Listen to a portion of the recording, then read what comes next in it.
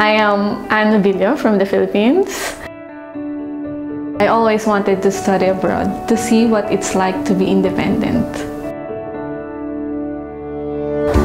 I choose New Zealand.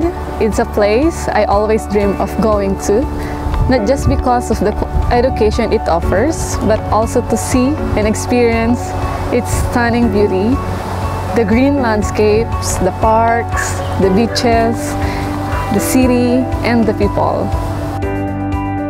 My school and their education system allows me to have a time to enjoy the beauty of New Zealand. I met a lot of people from different culture. New Zealand has also the friendliest people. It makes me feel at home.